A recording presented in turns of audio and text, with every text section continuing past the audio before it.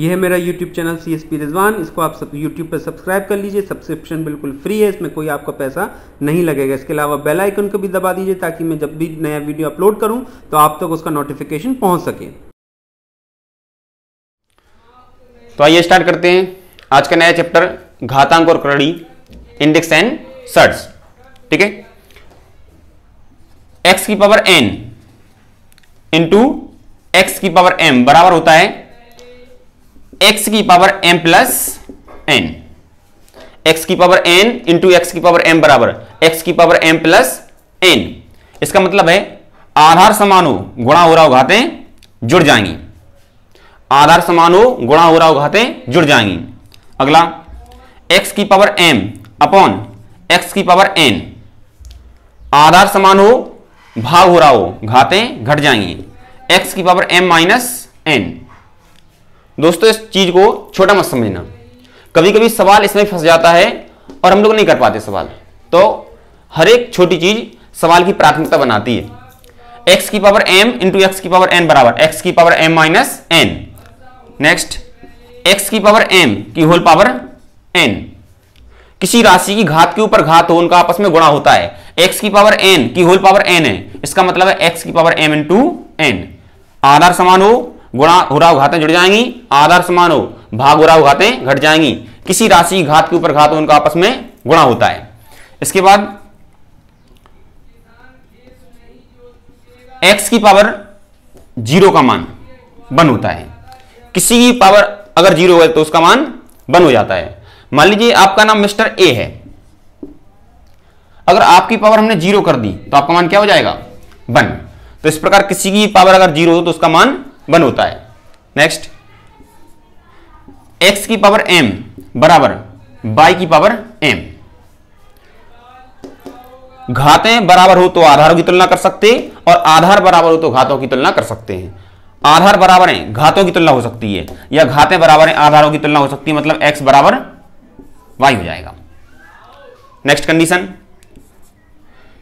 x की power n बराबर x की पावर a इसमें घातें बराबर थी, इसमें क्या बराबर हो जाएगा? आधार। जब आधार बराबर हो जाता तो घातों की तुलना कर सकते हैं। मतलब ए बराबर ए एन बराबर ए हो जाएगा। एन बराबर ए तो देखिए, इसके आगे है, जब पूरी राशि करड़ीगत हो, जब पूरी राशि करड़ीगत होगी तो हम सवाल किस तरीके से करेंगे? आपने देखा होगा कभी कभी सवाल आया था अंडर रूट बारह प्लस अंडर रूट बारह प्लस अंडर रूट बारह, इस तरीके से। तो जब पूरी राशि करड़ीगत होगी, तब सवाल कैसे करेंगे? देखते हैं। जैसे हमने कह दिया under root A plus under root A plus under root A up to अनंत तक ये सारणी गई है। Under root A plus under root A under root A up to अनंत तक। इस कंडीशन में अपन को करना क्या है? इसके करना है दो क्रमागत फैक्टर ध्यान देना, क्रमागत होनी चाहिए। क्रमागत फैक्टर क्रमागत फैक्टर जब आप क्रमागत फैक्टर कर लोगे तो जो बड़ा वाला आंसर आएगा तो बड़ा वाला आंसर होगा। जब प्लस की सीरीज़ चल रही हो तो बड़ा वाला आंसर और जब माइनस की सीरीज़ चल रही हो तो छोटा वाला आंसर देखते हैं कैसे। उदाहरण के लिए हमने बताया अंडर रूट बारह प्लस अंडर रूट बारह अप टू अनंत तक ये टेबल गई है। अपन को देखना है ये बारह ट्वेल्व इसके दो क्रमागत फैक्टर क्या हो सकते? चार तिया बारह। चार तिया बारह। बताइए इसका आंसर क्या होगा? इसका आंसर हो जाएगा चार। क्योंकि प्लस की सीरीज़ चल रही है, इसके क्रमागत फैक्टर में से बड़ा वाला फैक्टर इसका आंसर हो जाएगा। क्या आंसर होगा? चार। अंडर रूट बारह प्लस अंडर रूट बारह प्लस अंडर रूट बारह। अब टू कहाँ तक हो जाएगा? अनंत तक। इसका आंसर होगा चार। इसी तरीके से अगर हम कहें अंडर रूट बारह माइनस अंडर रूट बारह माइनस अंडर रूट बारह। अनंत तक ये टेबल गई है। बताइए इसका आंसर क्या होगा? क्रमागत फैक्टर कर लो। चार तिया बारह। इसमें चार है तो इसमें क्या हो जाएगा? थ्री तो इस प्रकार अपन समझे, जब प्लस की सीरीज़ चलती है तो बड़ा वाला आंसर। जब माइनस की सीरीज़ चलती है तो छोटा वाला आंसर। ठीक है? इसके आगे अंडरवुड ए प्लस या under root a under root a under root a अनंत तक गया।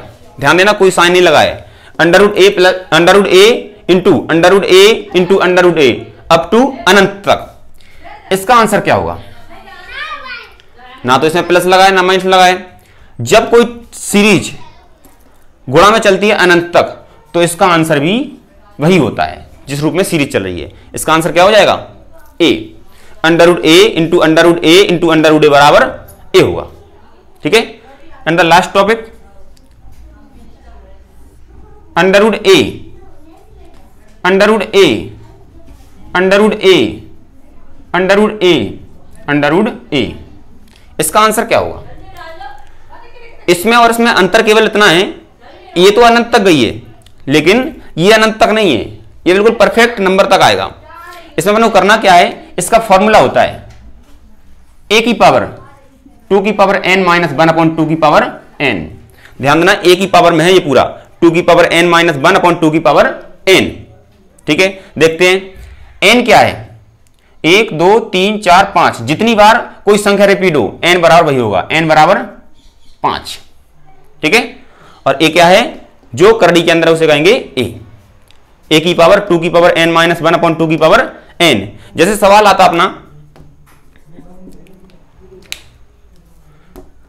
under root two under root two under root two under root two under root two N बराबर कितना है? पाँच। आराम से हो जाएगा सवाल। क्या होता फॉर्मूला ए की पावर टू की power N minus one upon two की पावर एन ए की पावर ए की जगह पर दो है। ए की पावर टू की power N minus one upon two की पावर एन ठीक है? तो हो जाएगा दो की पावर दो की पावर पाँच की वैल्यू कितनी होती? दो दूनी चार दूनी आठ दूनी सोलह दूनी बत्तीस। तो दो की पावर बत्तीस माइनस वन कितना हो जाएगा? इकतीस बटे बत्तीस। तो इस प्रकार आंसर हो जाएगा दो की पावर इकतीस बटे बत्तीस। ठीक है? तो इस तरीके से अपन जब पूरी राशि करड़ीगत हो तो प्लस की सीरीज़ चल रही हो तो बड़ा वाला आंसर माइनस वाली सीरीज़ चल रही हो तो छोटा वाला आंसर और अगर अनंत तक सीरीज़ गई हो तो वही वाला आंसर हो जाएगा। और जब गुणा नियत बार आए यानी एन बराबर फाइव तो टू की पावर ए की पावर टू की power N minus one upon two की पावर एन